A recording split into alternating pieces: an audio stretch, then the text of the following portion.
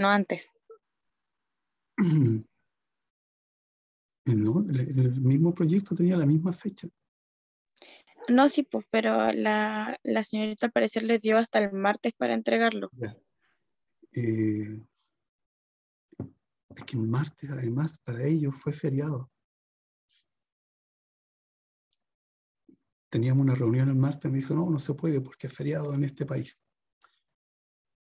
Pero en fin, o sea, acá hay una cosa que es interesante al margen de quién dijo, quién no dijo, que es el, hecho de trabajar con, eh, con otras personas, con otras oficinas, que puede estar en Coquimbo y la otra estar en La Serena, o dentro del mismo Coquimbo, pero es hacer valer tiempos distintos, horarios distintos. ¿Ya? Así que acojo la, el comentario. ¿Quién más tiene otro comentario o quiere profundizar en lo que se ha estado diciendo? Profe, yo encontré entretenido e interesante el proyecto, pero hasta la etapa de como antecedentes, porque hasta ahí la niña me dio información. Después desapareció mi compañera y después volvió como los últimos días con el trabajo ya terminado. Ya, o sea, no hubo una retroalimentación en el proceso. Y por ejemplo, yo le enviaba mis cosas y me decía, ah, sí, está bien. Pero eso fue como todo. Vale. Y es que, puedo hablar yo, es que a lo mejor debería haber sido eh, como clase en conjunto, como las mismas fechas, a ver, eh, haberlo hecho, por ejemplo, si nos tocaba a nosotros el lunes, ellos también el lunes y que nos juntáramos y todos habláramos, pero es como bien imposible, es como bien. O habernos, haber tenido reuniones en conjunto, con fechas estipuladas, como ya nos vamos a reunir tal fecha, este grupo. Y en Zoom, una cosa así. O bueno, que obvio por, Zoom. Así a lo mejor pudo haber sido mucho más, más fácil, porque claro, por allá, allá nosotros no sabíamos las fechas, estábamos uno en un lado era afiliado, en otro no, no tenía clase aquí, por eso yo creo que debió de haber sido así. Ya. Es una buena opción, perfecto. Ahora, es necesario que para ustedes tengan una conversación con su partner necesiten que esté un profesor presente o lo pueden hacer en forma individual?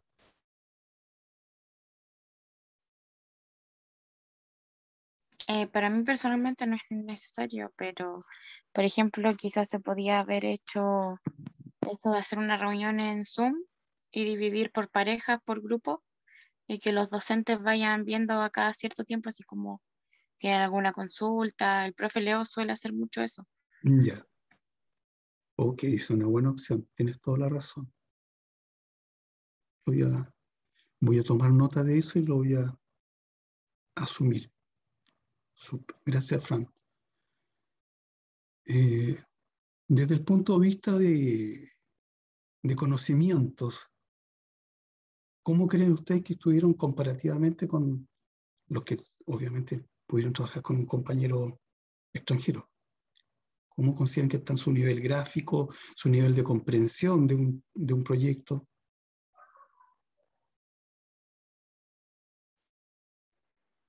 Yo personalmente me sentí bien con mi nivel, me sentí satisfecha con el trabajo que hice también.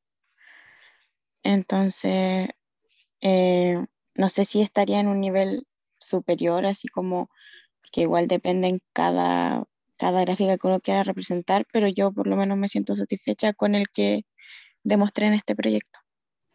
Mm. Y eso se... A ver. En estos momentos han opinado tres personas. Me imagino que los demás también deben tener opiniones.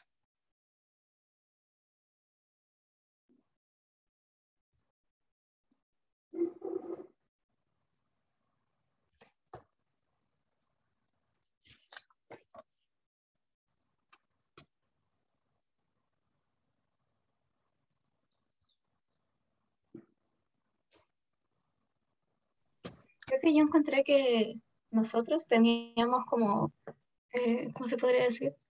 Una mejor comprensión para el mensaje, para, para entregar el mensaje. Porque, por ejemplo, mi compañera lo que hizo no, no tenía que ver con lo que ella me había dicho que quería hacer y entregar como mensaje. No, no, sé si se entiende lo que voy, pero es eso, de que el mensaje que mi compañera quería entregar, no lo, yo sentí que no lo entregó, que lo podría haber hecho mejor. Ya.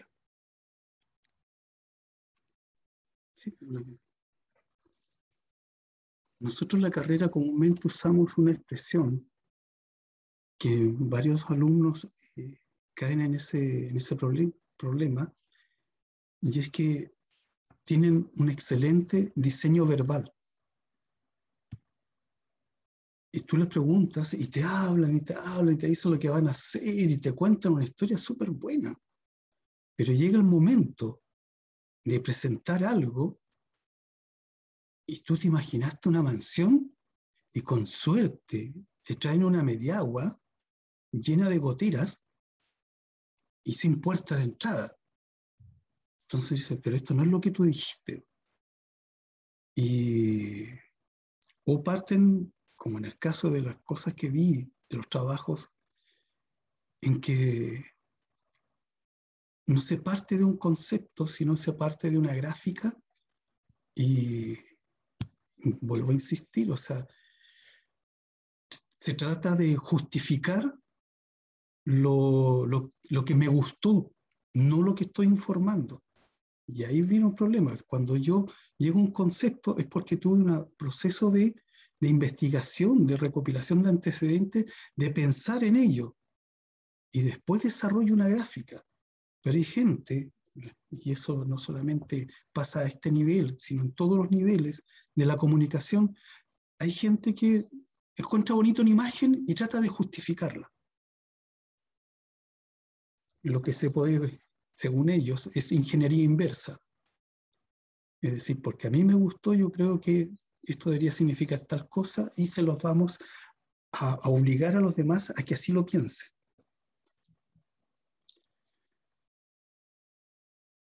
Tengo que decirles que hubo por parte de ambos lados gráficas muy interesantes. En serio, me gustó mucho, pero sí noté que que a pesar de la información que nosotros tuvimos, que se entregó además, eh, hay piezas gráficas que no son afiches, son infografías o son láminas explicativas, pero no afiches. ¿Se acuerdan cómo eran los afiches o no? ¿En qué se jugaban? Imagen, texto. Dentro de eso había una jerarquización de esta información donde había un título, posiblemente una bajada, eh, una información pero muy concisa y en este caso eh, el apoyo de puede ser fechas o, el soporte, patrocinio, auspicios. Y de repente aparecían unos textos pero kilométricos. Yo decía, si yo voy por la calle esto no lo veo, es para mí una mancha en la pared. No es un grito en la pared, es una mancha. Pero bueno, estamos acá para aprender. Así que, y lo otro es que lo acaban de vivir, a muchos no les gustó, y es el hecho de que cuando ustedes estén trabajando, no van a estar en condiciones de poder exigir con quién trabajar y con quién no trabajar. Ustedes van a llegar a un lugar de trabajo y van a existir personas que estaban antes, o si ustedes ya están y va a llegar gente y ustedes le van a decir, este es tu nuevo compañero, esta es tu nueva compañera, y trabajen. Y eso significa eh, ver si realmente hay un acercamiento, hay un, una buena disposición, unas buenas vibraciones que te permiten trabajar como equipo.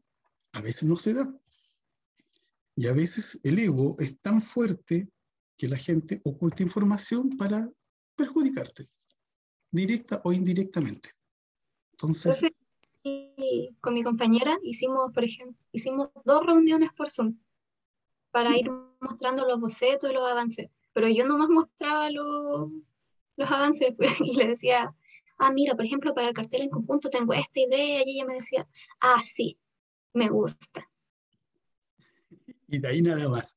Y nada más, entonces yo encontré que sí nos, como que sí nos llevamos bien, pero ella no entregaba, me entregó la información al principio nomás y después no, nada más.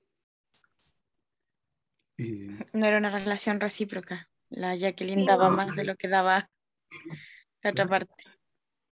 Suele pasar.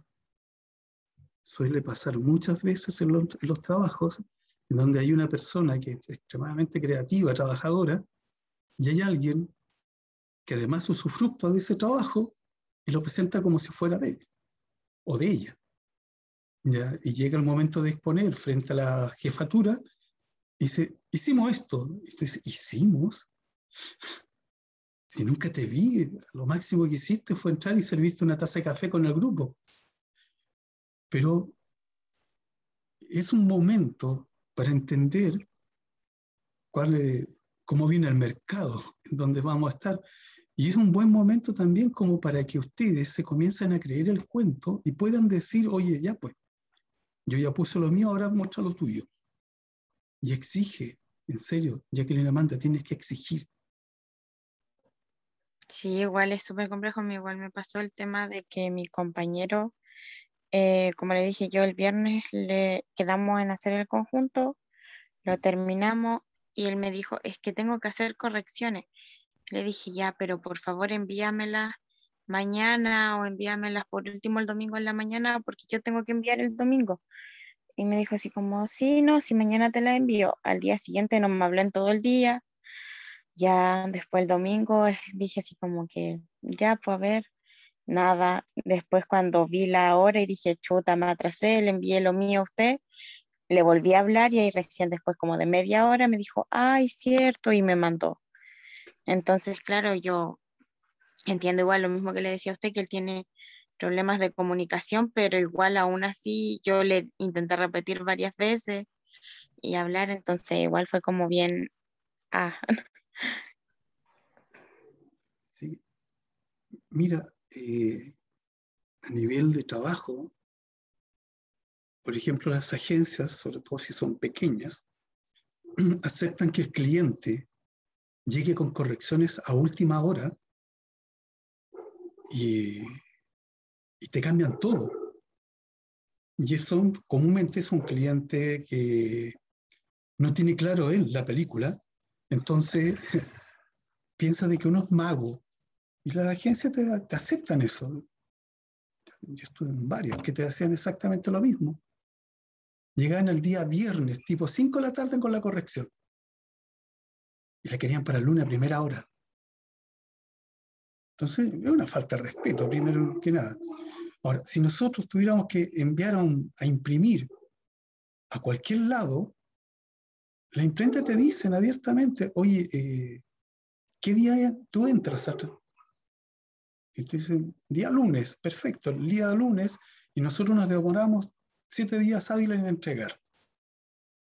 Y resulta que si tú no llegaste el lunes, el tipo de la imprenta tiene una máquina. Esa máquina tiene que estar funcionando. Si tú no llegaste, mete otro trabajo. Y tú no vas a llegar el día martes y dices, oh, se me atrasó un día, no. Así será, te atrasaste. Yo no puedo dejar de comer porque tú te atrasaste. Y la empresa sigue. Y si no te gusta, ahí está tu trabajo, andate a otro lado. Y le encuentro toda la razón. Hay plazos. Dentro de un periódico los periodistas tienen plazo de entrega de su formación porque hay gente que tiene que diagramar. Y una vez que diagraman, hay que sacar lo que es película, al menos en este, en este país todavía se maneja eso. Ya no, no, no, no existe en los periódicos el computer to plate, que sale directo a grabar la plancha. Y ahí viene el detalle, que es lo que le pasó a, la, a, a Mineret. No puede ser que el tipo te mande cinco últimas. Acá la última, esta es la última última, la última recontra última. Ah, y ahora tengo otra última. No. claro, y encima yo notaba que solamente le agregó pastito. Primero le agregó pastito, después se lo sacó, después le volvió a agregar.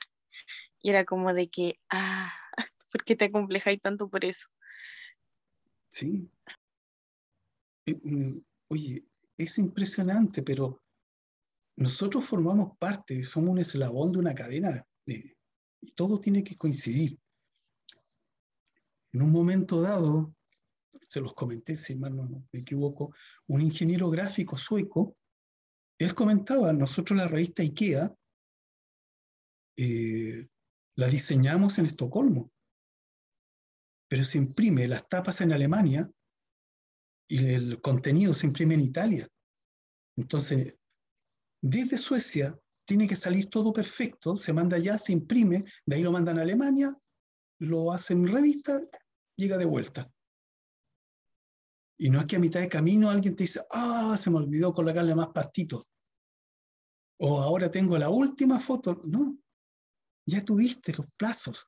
Entonces, es un buen momento este como para que vayan haciendo sus propios plazos, sus horarios, y hagan cumplir a quien tengan como dupla al otro lado. La gran mayoría de las veces uno no quiere herir susceptibilidades y, y permite que otro te atrase. Chicos, chicas, a la punta del cerro la susceptibilidad, si es delicado de cutis o cualquier cosa. Es su trabajo. Entonces tienen que comenzar ya a colocar los puntos sobre las sillas cuando corresponde. Alguien se atrasó, perfecto. Lo llaman y dicen, te atrasaste. Necesito trabajo a tal hora. Y si no está, se corta. Súper simple. Así que vayan pensando en eso, porque créanme, cada vez se va a ir haciendo más densa la cosa. Y más que denso, te digo, se va haciendo profesional. Así que vayan haciéndolo. Es mi sugerencia. Y lo que dijo eh, Minereta hace rato lo voy a tomar en consideración para un futuro proyecto de poder trabajar en equipos de esta forma. ¿Ya? Y llegamos hasta acá con la conversación las personas que se hayan ido integrando. Después le voy a ir preguntando sobre sus compañeros o llanamente no pregunto nada más y es lo que va a salir así en la reunión de la tarde. Dejé en el grupo de WhatsApp el link para que nos juntemos hoy día, ya, 7 de la tarde, hora nuestra. Bolivia, en este caso particular, porque nosotros como país andamos cambiando el horario, en este momento Bolivia tiene una hora menos. ¿Ya? Pero comúnmente tenemos el mismo horario. Si alguna vez por X motivo tienen que ir a Bolivia y necesitan utilizar, eh, obviamente van a tener que usar. Diferencia, ellos también usan 220 de, de corriente, pero los enchufes son distintos. Usan enchufes de patas planas y en ángulo. Entonces van a tener que llegando allá o antes de ir, comprar un adaptador.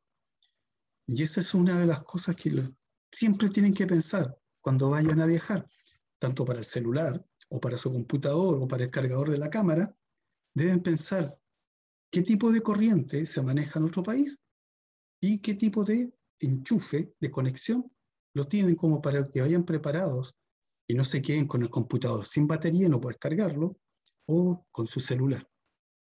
Y lo otro son los eh, usos horarios. Vaya como, como tips. Oye, eh, entonces hoy día a las 7, no les digo que estén toda la hora, sí, pero sí les pido que por favor estén presentes como para poder cerrar esto de alguna forma, ya que se abrió, hay que cerrarlo. Así que los invito. Ahora bien, entramos al tercer y último proyecto. Este proyecto equivale, por la escala de nota que yo puse, equivale al 50%. Es decir, eh, las personas que no han presentado trabajo durante ahora, eh, durante todo el semestre, que han presentado, eh, no están conformes, este es el momento de jugar. Hola Francisco. No te preocupes. Buen día. Sabemos que tu trabajo te demanda estar en dos eh, simultáneamente, jugando dos bandas. Hoy eh, tenemos trabajo adelantado por alguna parte, pero eh, no todos... Eh, uy, ando súper disperso. Voy a, a presentar de qué se trata el proyecto. Está con las fechas y vamos en un proyecto que es colegiado, es decir, estamos todas las asignaturas y cada asignatura va a evaluar una parte que le corresponda a este trabajo. Aún estamos evaluando, hay una plantilla de evaluación que lo estamos revisando cada uno de los profesores y vamos a ver si estábamos de acuerdo o no, vamos a ajustar como para que el día que se entregue nosotros podamos revisar esto con calma y además los procesos. ¿ya? Y acá es importante, chicos, eh, chicas también, que es el proceso, no es que yo, eh, y yo creo que deben hacerme la culpa varios, no es que yo me presento el primer día y diga, este es el proyecto perfecto, desaparezco, ¿ya? Y aparezco el día del examen, acá está. Y puede ser bueno, no, no lo niego. Y es más, puede ser que lo hicieron ustedes, pero no, yo no he visto proceso. Y hay gente que viene a todas las clases y en todas las clases participa y ya sabemos quiénes son. Como hay gente que viene, prende la pantalla, se va o lisa y llanamente no son capaces de decir ni siquiera buenos días. Entonces el proyecto de ahora consiste en lo siguiente. ¿Dónde estás? Y ya se me perdió de nuevo. Vamos a abrir.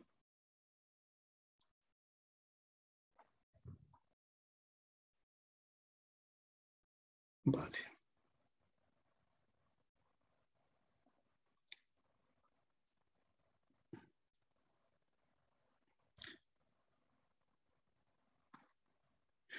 Este es el tercer proyecto. Es un proyecto de diorama Culturas Prehispánicas, región de Coquimbo, Chile diseñar un diorama plegable que permita relatar una narrativa asociada a las culturas de la región de Coquimbo. Ya vamos a ir explicando qué es lo que es cada cosa. Acá están las fases del proyecto, que está dividido en cuatro fases, en donde, ¿dónde estás? Tenemos una fase de antecedentes que comenzamos hoy día, miércoles 3, hasta el lunes, hasta el viernes 12. Tienen toda esa fase para recolectar antecedentes y comenzar a desarrollar la fase conceptual, es decir, averiguo cuáles son las etnias que están por este sector, cuáles son los antecedentes, cuál es la gráfica, y comienzo a generar una historia. La fase creativa va a ir una fase de desconexión y después viene la fase de ejecución, que también estamos en la semana de desconexión. Entonces vamos a tener en la fase de ejecución desde el lunes 22 de noviembre hasta el viernes 3 de diciembre, siendo la entrega la semana del 6 al 10 de diciembre.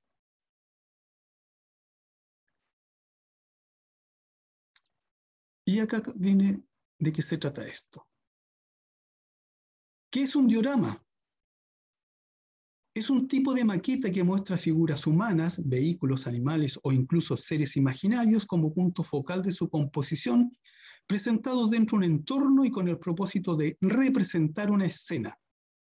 En ocasiones se ubica delante de un fondo pintado de manera que simule un entorno real, pudiendo completarse con efectos de iluminación.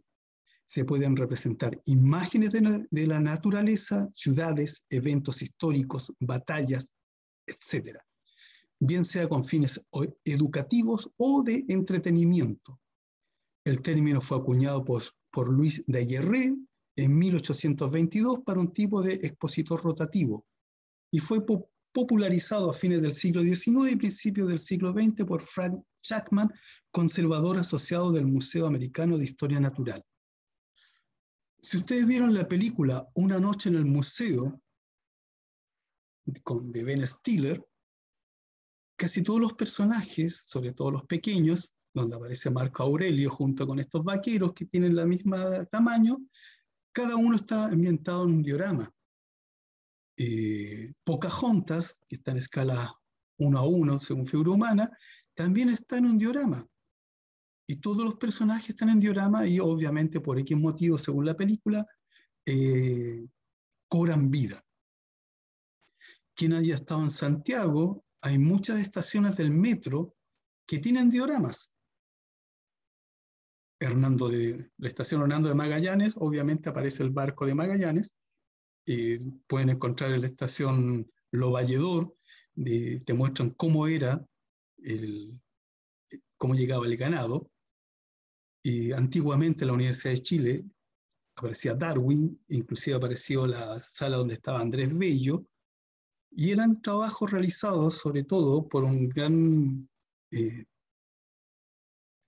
yo diría que escultor, que viene siendo Serraitug, que es el, nombre que utiliza esta persona como, como su nick, como su nombre artístico. Y es interesante porque Serraitug, si alguna vez les cuesta reconocerlo, es la forma que se escribe al revés el apellido de Gutiérrez. Y Gutiérrez, José Tú, hace eso de pintar un fondo eh, no recto, sino tiene una forma circular hacia atrás, una perspectiva, y genera los personajes labrados y tallados a mano en una escala, comúnmente con elementos bastante cómicos entre medio. Es muy interesante el trabajo de este señor. Profe, esas eran las que se habían robado, ¿cierto? Y él les estaba pidiendo que se las devolvieran porque eran como únicos para rehacerlos. Eh, precisamente, es que es un trabajo pero súper delicado. es maravilloso el trabajo, en serio, que él tiene.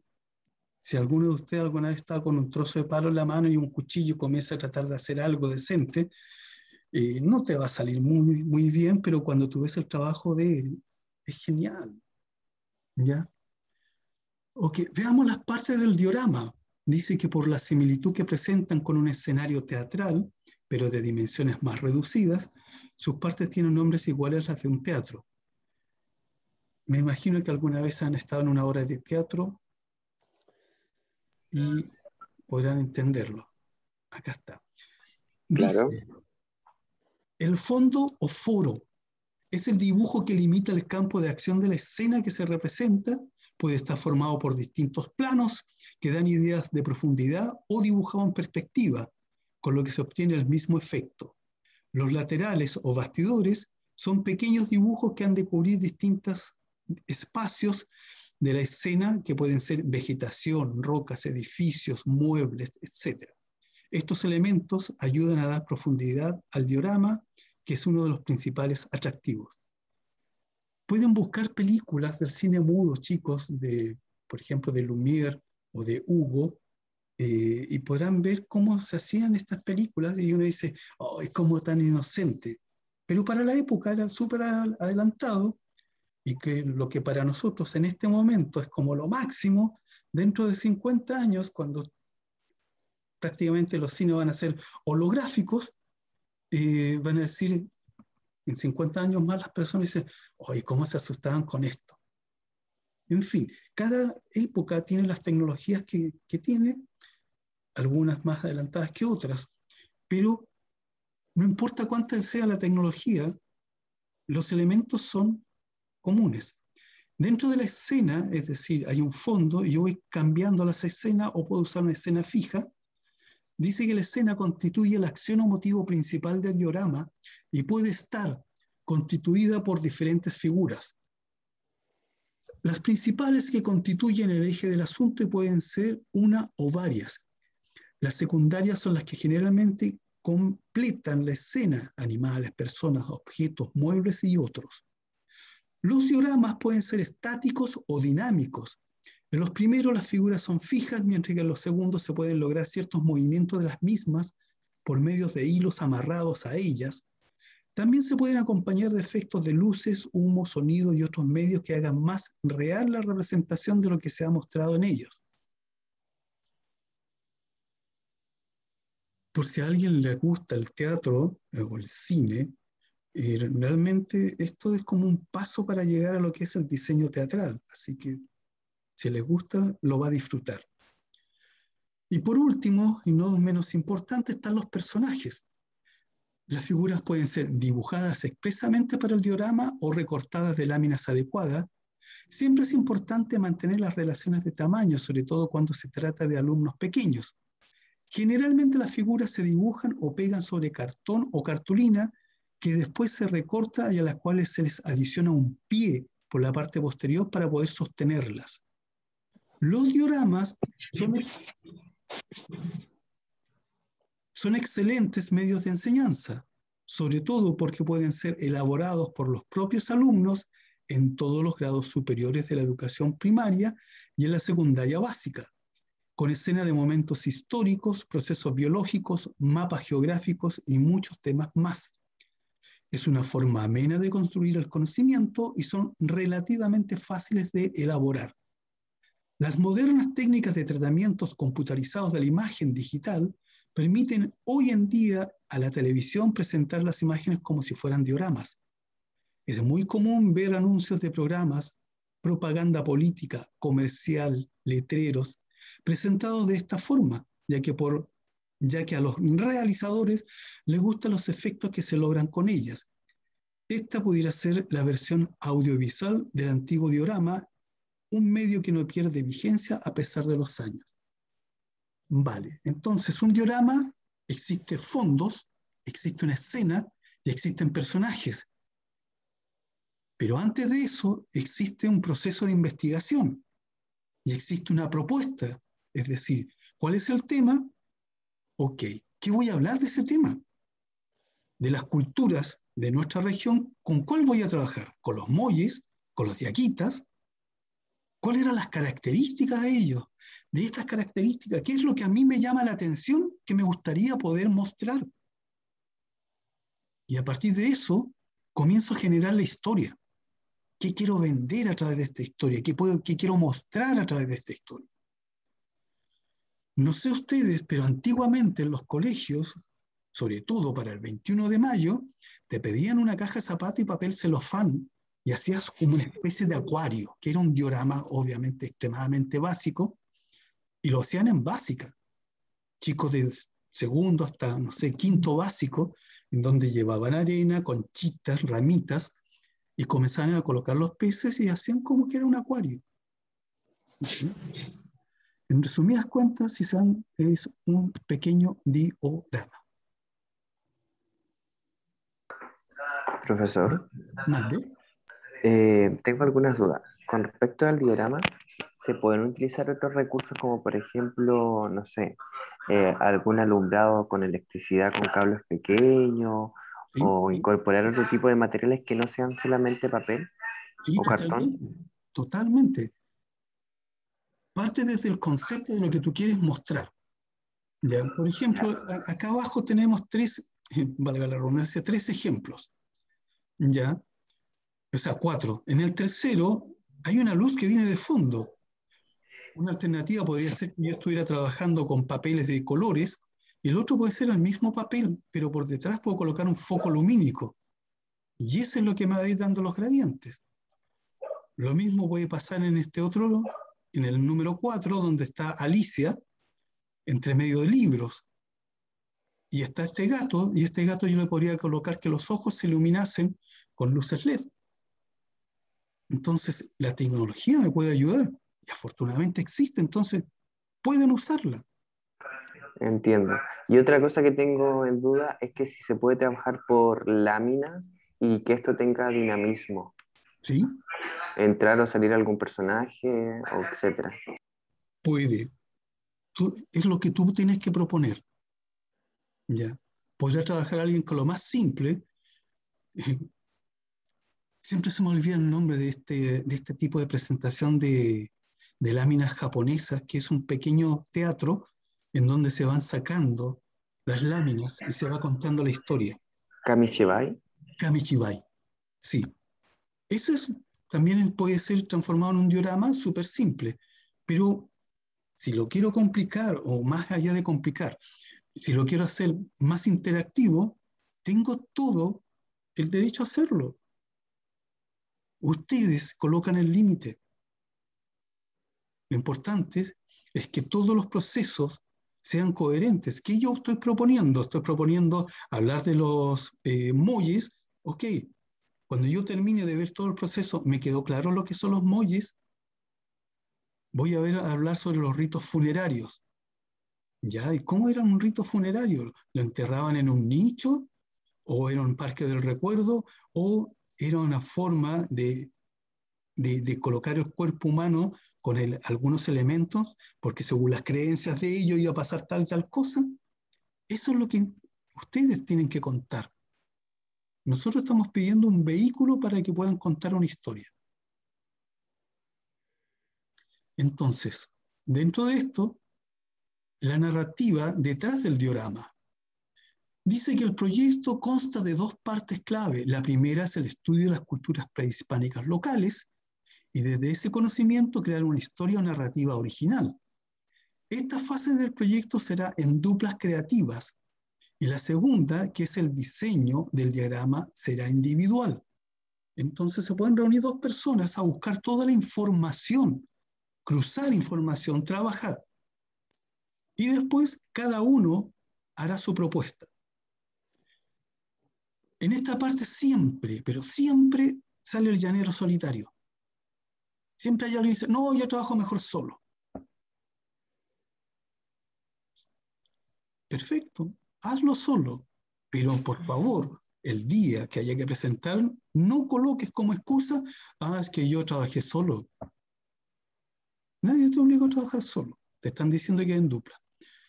Y por último, está el que, no sé, los, los tres mosqueteros te dicen que es dupla y te dicen, no, que nosotros somos tres, somos cuatro, somos cinco, siempre hemos trabajado juntos. Entonces el término es dupla, y si alguien quiere trabajar solo, por mi parte no tiene ningún problema, pero por favor no lo use como argumento de que su trabajo no quedó bien porque trabajó solo, porque la parte solamente de investigación. Dentro de la narrativa está la investigación para descubrir o crear una historia. Hay un género literario moderno constituido por la novela, la novela corta y el cuento. Y dos, hay un conjunto de las obras literarias en prosa como novelas, cuentos de un determinado autor, época o lugar. El diseño del diorama dice que es la definición del fondo, la escena y los personajes. El diseño del diorama y la representación del relato o narrativo creado en la fase anterior será individual. Dentro de la narrativa, en el resultado, dice, las duplas deberán buscar, adaptar o crear un relato o historia basada en antecedentes reales de la cultura prehispánica local. Y acá se hace énfasis, real.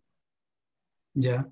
La temática del cuento podrá estar basada en hechos históricos, mitológicos o la cosmovisión de cada pueblo. Con este material se desarrollará el diseño del diorama. Acá más seguro que alguien podrá decir, oye, pero ¿cómo la, mitología va a ser real? Bueno, para ello era real. Entonces, dentro de los elementos mitológicos, tenemos que se ha traducido en elementos decorativos, en elementos que tienen que ver con todo lo que es el desarrollo de su religión, llámese altar, llámese eh, en el caso de los cristianos, por ejemplo, las cruces, eh, en el caso de ellos tenían elementos simbólicos para representar a los dioses, elementos gráficos para representarlos, y en cómo los representaban, en dónde. Acuérdense que comúnmente los pueblos antiguos, originarios, estaban más conectados a la tierra que en nuestras religiones occidentales, donde si no se hace dentro de un recinto público, eh, mirando feito, partiendo desde los templos griegos, egipcios, y donde cobra un vuelco cuando los eh, cristianos aceptan la gente dentro del templo. Dentro de otras cosas tenemos fuentes para la creación del relato, está el territorio, entre otros, tenemos historia, tradiciones, mitos, cosmovisión, arte y artesanía, religión, leyes, acá pueden colocar lo que ustedes quieran, que tiene que ver quizás con, con la ropa, por ejemplo, las comidas. Todo esto, la suma de todos estos elementos y más, transforman eso en una cultura. Cuando muchos habitantes tienen todo en común, son una cultura, obviamente. ¿Ya? Herramientas para la creación del relato. Tenemos el viaje del héroe o heroína, entendiendo heroína obviamente la, forma femenina de, de héroe, no la droga. El patrón circular del viaje del héroe o la heroína se repite constantemente a lo largo de la historia, desde la Odisea de Homero a la Guerra de las Galaxias o Mad Max. Una llamada a la aventura saca al héroe de la vida ordinaria. Dentro de esto, este gráfico lo tenemos mejor en otro lado, pero a ver, veamos si lo podemos ampliar. No, la imagen está horrible.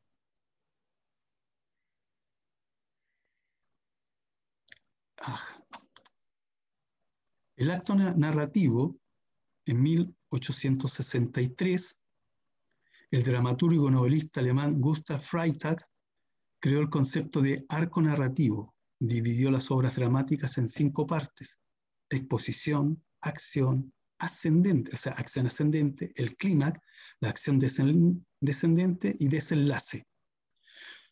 Ese es un arco narrativo. Ahora, comúnmente, si ustedes vienen después del desenlace, vendría una línea punteada que viene siendo la nueva historia o cómo esta historia va a continuar. Vean los Avengers. Cuando uno va al cine ahora, antiguamente la gente decía fin y se iba. Y ahora dice fin y se tienen que bancar todo. ¿Por qué? Porque siempre viene un spoiler de lo que va a pasar. Entonces, es interesante. No sé si a ustedes les pasa, pero el hecho de tener Windows me molesta enormemente que aparecen ventanas estúpidas que interrumpen. Vamos a ver esto. ¿Y por qué tiene Windows ahora? Eh, siempre he tenido, lo que pasa, nunca me ha gustado Mac. La primera vez, mi primer computador fue un Mac y me dio demasiado dolor de cabeza y dije, no, nunca más. De hecho, terminó como, como mesita de centro el computador. Oye, viaje del héroe, según lo que decía Freitag.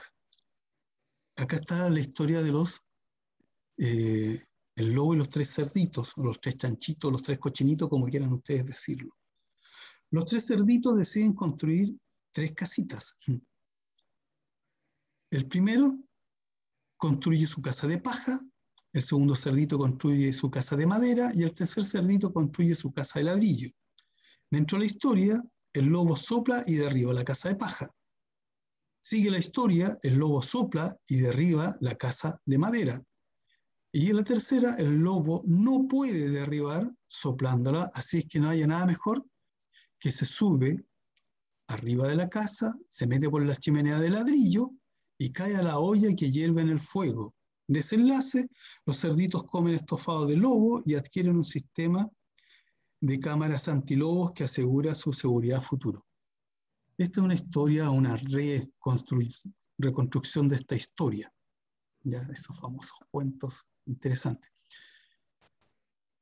La forma como este, en este paso del, del lobo en el techo a la olla me recuerda mucho el trabajo de un gran escritor de ciencia ficción de apellido Manuel, que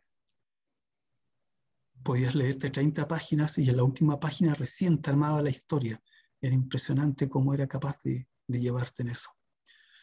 Ok, dentro del viaje del héroe existe un mundo ordinario. Hay un llamado a la aventura. Acuérdense que Bilbo Bolsón estaba tranquilo en su comarca cuando aparece Gandalf. Hay un rechazo a la llamada.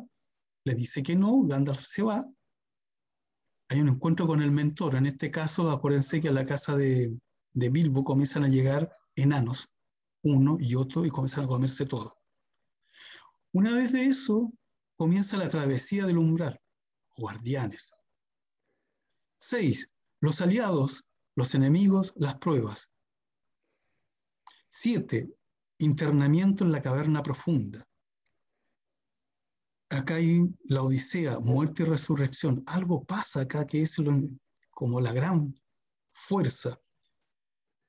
Espero que alguna vez hayan leído la Odisea, les encantaría. Nueve, la recompensa en el elixir del conocimiento. Diez, regreso con persecución. Hay una gran lucha. Hay una nueva resurrección y el retorno con el elixir del conocimiento. Eh, creo que ustedes, no sé, alguna vez habrán ido a ver películas, pero si alguna vez van a ver películas de, de Spielberg, o busquen en internet, van a darse cuenta de que Steven Spielberg tiene una particularidad. Las películas duran prácticamente lo mismo. Y él dice, porque la gente ya se comió las palomitas a esa hora. No tiene nada más que comer. Dos, la forma como él estructura su película, sus películas son prácticamente calcadas. Él sabe, porque lo estudió, hizo todo un estudio de personas sentadas en el cine, y cuánto tiempo necesita para que se le entregue la información de los personajes. Cuánto tiempo necesita que haya una broma, un chiste, como para sacarlo del asiento, y cuánto necesita como para llevarlo a la parte dramática. Hay toda una línea conductual y él la repite porque sabe que es la receta. Sabe el comportamiento humano.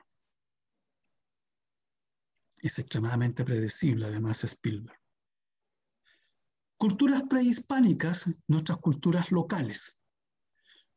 Junto con el ingreso de los primeros cultivos cerca del año 2750 a.C., las poblaciones cazadoras de distintas economías comenzaron a incorporar paulatinamente cambios tecnológicos y organizacionales que los llevaron a relacionarse con otros pueblos de territorios vecinos del actual noroeste argentino, como también de más al norte, Norte Grande, y el sur, Chile Central, de nuestro país. Un proceso desigual como este generó la formación de los primeros alfareros entre el 300 y el 700 después de Cristo, radicados dentro de nuestras comunidades que habitaron especialmente en valles con potencial agrícola. Estos grupos fueron conocidos como la cultura El Molle, cuyo origen se emparenta con poblaciones vecinas a la región. A esta cultura le sucedió el denominado complejo cultural Las Ánimas, entre el 800 al 1000 después de Cristo, el cual a su vez el antecedente cultural directo de la cultura diaguita entre el 1000 al 1540, una de las más reconocidas etnias prehispánicas del norte de Chile. Ahí está la fuente donde fue extraído eso. Eh, si ustedes buscan en Google lo que es cultura diaguita, se van a dar cuenta de que no es solamente cuando la gente habla acá, no, Vicuña, y nos vamos al valle. Los diaguitas también los pueden encontrar en el territorio argentino, cruzando la cordillera. Entonces, atravesaron unas montañas, no sirvió de barrera para nada, sí para otros, ¿ya? Y acá tenemos la línea de tiempo en donde se desarrolla cada cultura y cómo algunas se solapan o se traslapan. Tenemos el tipo de cerámica que se hacía con sus características propias como documentos. Y acá vienen las condiciones de entrega del trabajo. La realización del diorama tendrá algunas restricciones que están asociadas a la posibilidad de reproducción del producto diseñado. El objetivo es poder distribuir los resultados en colegios locales para ello, debe ser posible de reproducir el diorama en una impresora casera de formato carta. Esto no significa que todo el resultado debe estar contenido en este tamaño de papel. Puede ser de 5 a 10 hojas. Lo que se puede ver cuando uno hace un, un paper toy, donde están los elementos, los voy cortando y voy generando el volumen que yo necesito. Entonces esto yo lo tengo que obviamente hacer de tal forma que una profesora en Gabriela eh, o en Coquimbito pueda tomar esto, descargarlo e imprimirlo. El formato de entrega debe ser en formato PDF con textos trazados. Y acá hay una cosa que, volviendo al proyecto anterior que hicimos, eh, llegaron varios afiches y los textos no estaban trazados. Y como yo no tenía la tipografía, mi computador, ¿qué es lo que hace? Reemplaza la tipografía. Es decir, que el día que ustedes hagan un trabajo y no tracen, es decir, no conviertan la tipografía en dibujo de letras, van a mandar el trabajo a una imprenta y la imprenta, la máquina va a decir, oye, no tengo esta fuente, la Charleston, así que te voy a colocar la Arial. Y el diseño se fue a las pailas. Las imágenes deben ser 100% originales, es decir, de creación de ustedes. Pueden buscar imágenes fotográficas, obviamente, como antecedentes y ustedes las redibujan, ya lo saben. El producto debe ser armable y tener las instrucciones para ello. Se debe entregar. Hay alguien que está con el micrófono abierto y con unos suspiros gigantes. Le voy a pedir que por favor silencien sus micrófonos. Se debe entregar el proyecto con una lámina explicativa del proceso. Se debe realizar una maqueta física y una virtual. El tamaño que vamos a trabajar es carta. Hay que hacer el armable con las instrucciones. Las imágenes son 100% originales. Está la maqueta física y hay una lámina de proceso. Acá está el resumen del proceso, donde están los antecedentes, crear el relato, diseñar el diorama. Tenemos una maqueta física, una maqueta virtual y una lámina que resume todo esto. estructura de la lámina de proceso, donde están los, el resumen de antecedentes, no es necesario colocar todo, colocan un resumen con obviamente imágenes que apoyen, donde están los elementos clave, qué problema y objetivo, es decir, qué yo rescato, voy a trabajar con la ánima y me gustó la, no sé, pues la cerámica y puedo contar de cómo se hacía el proceso de, de generar esta cerámica, cómo ellos sin tener hornos industriales como los de ahora, eran capaces de crear esto. De la fase creativa, con los bocetos, y ojo, por favor, tiene una S al final, ahí. Y la S significa plurales. Y ya varias veces que yo le he pedido que entreguen bocetos, aparece uno. Y el diorama, Selección de ilustraciones clave, es decir, cómo se ve la maqueta física, cómo se ve la maqueta virtual y los procesos para llegar a eso. Alternativa a la lámina es separar por título en un formato de 1080 por 1920 píxeles. Y acá está generado en ese formato. Acá hay ejemplos de armables, donde está una aleta donde está la nomenclatura como para poder doblar esto y voy armando y me queda acá, como en este caso, una cámara fotográfica o como en el de la derecha, me queda un vehículo. Las ruedas, si se dan cuenta, están acá abajo e inclusive viene con esta parte de abajo para poder eh, tenerla como una tarima. Maqueta física, acá tiene una maqueta de cómo puede quedar, acá está un boceto de un diorama que está hecho como acordeón, sistema de acordeón, y está la información dentro. Acá hay otro sistema que es muy interesante porque es un juego que además tiene particularidades en donde se dan cuenta hay una pieza y tiene una protección como las láminas de, que hay policiales de no pasar porque ha ocurrido un crimen. Y al abrir esto, se abre y se transforma en piezas y en la pieza hay un crimen. Entonces es como para contar una historia. Y acá al lado hay otro tipo de diorama donde está recortado, pegado y al momento se puede plisar y quedaría solamente algo transportable. Maqueta virtual ahí van a trabajar con Iván. Y acá hay otros ejemplos de dioramas. Acá tienes un ejemplo de pesca y los elementos que tienen que ver con tratamientos de, que están recortados. Pueden ver el sistema solar. Y es raro que haya dos Saturnos, realmente me llama la atención. Y nuevamente tenemos el sistema de acordeón. Y acá hay trabajos mucho, pero mucho más complejos, que yo puedo trabajar tranquilamente a través de cubitos. Adentro vienen distintos diagramas para construir distintas historias en un tema en común. Acá viene otro. Y acá hay otro.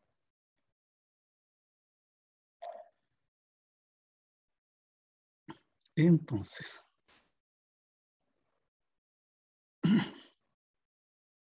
este es el tema a desarrollar en nuestro tercer proyecto, que no es examen, es el tercer proyecto. Nosotros como taller no tenemos examen, pero la cantidad que equivale la nota, yo lo estaría jugando, pero muy en serio.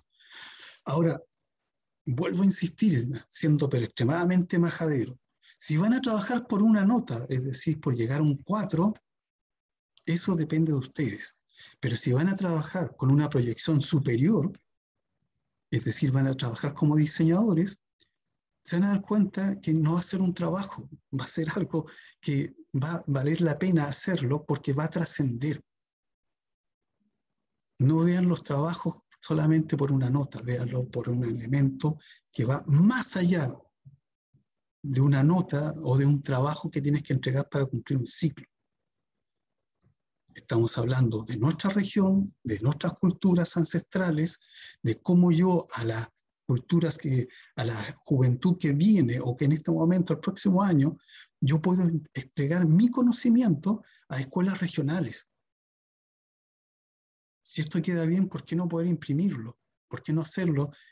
Si queda bien en PDF, hacerlo llegar a todos los colegios, oye, mira, te puede servir. Entonces, si se lo enfocan de ese punto de vista, va a ser mucho más productivo. Eh, cada profesor en cada asignatura les va a ir diciendo qué es lo que les va a pedir. El otro día conversamos con Iván y él les va a enseñar en 3D de cómo generar esta. La información que ustedes van a crear se puede digitalizar, si la trabajan en el computador, la pueden pasar directamente, la pueden ir aplicando en un programa 3D. Ya hicieron un paper toy en algún momento y lo que tienen que hacer es generar con quién van a trabajar ahora.